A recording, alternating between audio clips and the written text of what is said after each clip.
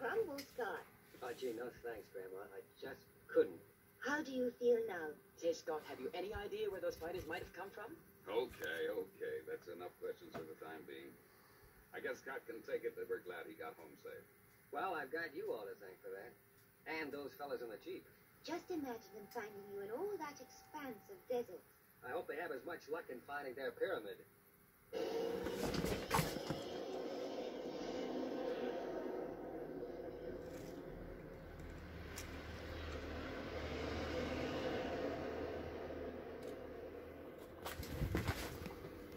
Well, it was certainly nice to have a change of faces, wasn't it? Okay, I get your meaning, Lindsay.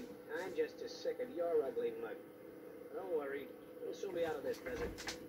Now look, Wilson, cut that out. You're going too fast again. Relax. Just you keep your mind on navigation. We're supposed to be looking for a pyramid, remember?